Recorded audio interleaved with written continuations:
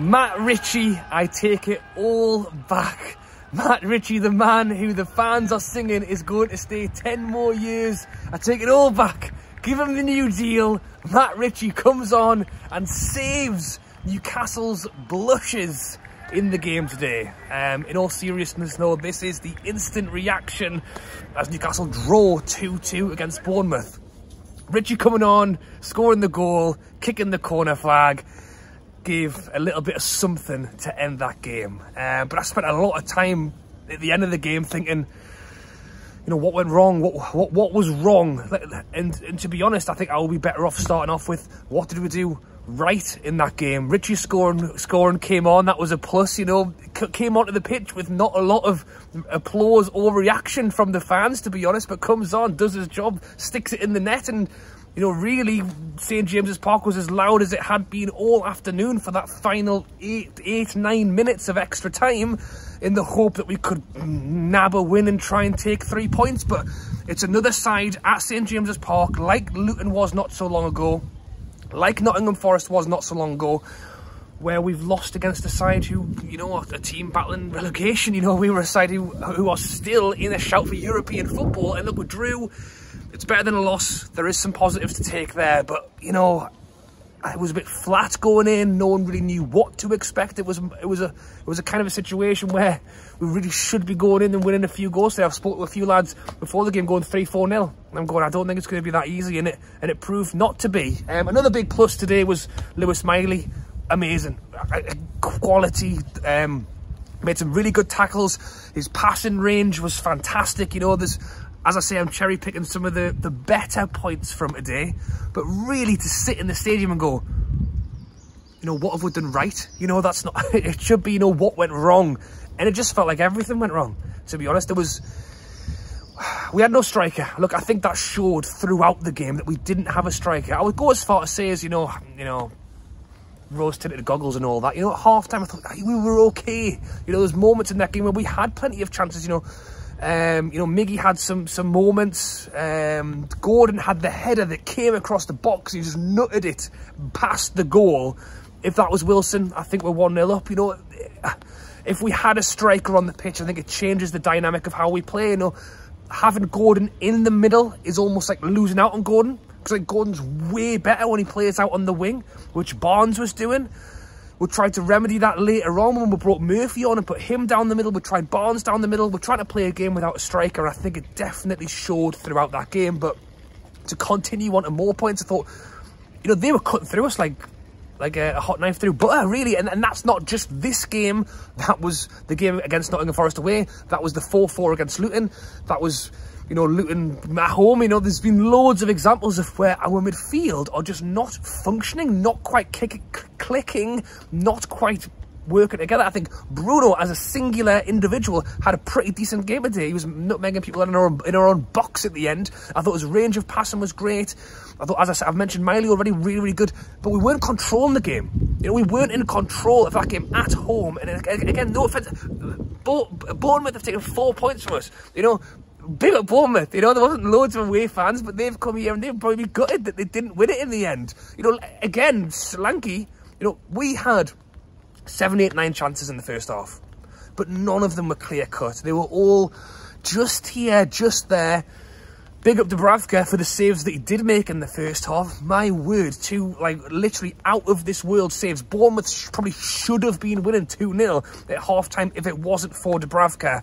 And we're going at half-time, and as I've said, we had the chances, but we weren't clicking. We weren't quite getting... The thing is, though, if we do score one of them goals, or we do score two of them goals, we'll start to ride the high, the confidence starts to flow. No no striker, no worries. And we, I think we go on and win, but, but we didn't and, and I think we, we, we, we need that too often. We need that if we do like it's almost like we have to score to like take the because we're not in control and because we're not covering the game and because there's, there's this this little you know defensively we, we weren't great and I know Dan Burn will get some stick for the goals that we'll quickly run through in a moment um, so will Dubravka, but I don't think Botman was necessarily at his best. I think Shaw looked injured come the end of the game. You know, there was loads of stuff going on, and, and, and you bring it back to, you know, injuries, not full squad. We've got no strike. There's, there's, there's loads. You know what I mean? As I say, at the end of that game, I'm sitting there going, what, what have we, what's gone wrong today? As I say, it's easier to go what went right because I just think there was so many things just wrong in the game. I think Eddie Howe's, once again, I'm not going to put it on Dan Burn, but you know, and I would go as far as Trippier, I would go as far as the whole defence. Yes, the goal, both goals came from that left-hand side, but every time Bournemouth were through, every time one through ball puts them through, we've spoken about the number six, we've spoken about a lot of things. I think that's partly why the midfield isn't clicking. Bournemouth are playing through balls and they're just, they're in.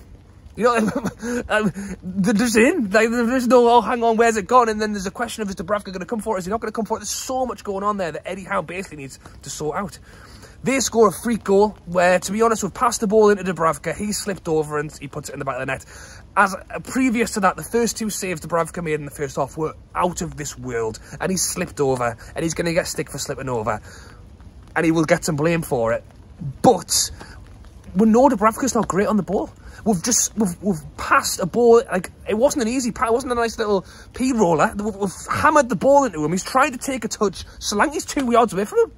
Why are we even giving it? Should Dubravka have just lumped it straight away? Yes. But why are we giving it to him anyway? Leave the Dubravka alone. Stop passing the ball to the Dubravka. Leave the poor bloke alone. The ball goes the other end. I, I said what was good this game. Ritchie was good. Miley was good. But oh, the ref wasn't good. How have, I, how have I got this far in the video and not mentioned? The referee was terrible. I think possibly the worst first half of officiating I've seen in a long time. The amount of cynical fouls they were putting up on our players that didn't get given was insane. They were kicking us all over. The ref did not want to give a yellow card. Dreadful.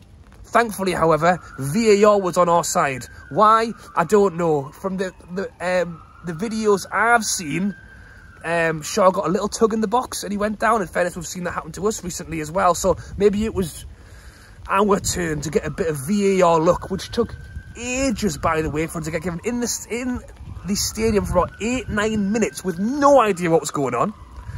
Penalty given, Gordon scores it. 1-1, we're back in business. Oh, hang on, we're not, because a ball has literally got put through, through the middle of the midfield, through the middle of, our, through the left-hand side of our defence, shot across the box, and despite the fantastic saves Dubravka made in the first half, just got nowhere near it, and it goes in the back of the net. Really easy, really simple, really rubbish from us. Um, and as I say, at that point, the, the crowd was flat. I felt the team were flat. There was no pump until Matt Ritchie came on. Matt, Matt Ritchie, I take it all back. Keep Matt Ritchie, uh, the, the crowd sing Matt Ritchie 10 more years. You know, all jokes aside, I'm happy for Ritchie that he came on and scored, but I would also say that that should not be Newcastle's plan B. You know, we're bringing on Livramento for Dan Burn after they've scored to make it 2-1 we should be making those kind of substitutions before that to try and take something from the game, not after it's already lost and we're trying to save the game. Really, Matt Ritchie coming on is just like a token, let's save some legs. I don't think the you know, if Eddie Howe's plan is to bring Matt Ritchie on to score the winner or the equaliser every game, I think we need to take another look at our game plan. So, there you go. You know, we'll talk about the season and what else we want to go for this season. People say, you know, there's the FA Cup, but league-wise, what the hell's going on? You know, when we talk about our chance to try and get European football and the games we've had of late, it's just, you know, I think sucking the air out of it a little bit. And now we go to Arsenal away next weekend, who have just thumped whoever they were playing today. Let me know your thoughts on the game down below. Thank you for watching. As always, if you're not subscribed to the channel and you've watched this far through the video, be sure to do so. Loads of Newcastle content as always. It's raining. I'm sad. I'm going to go to the pub. Thank you for watching and I'll catch you later.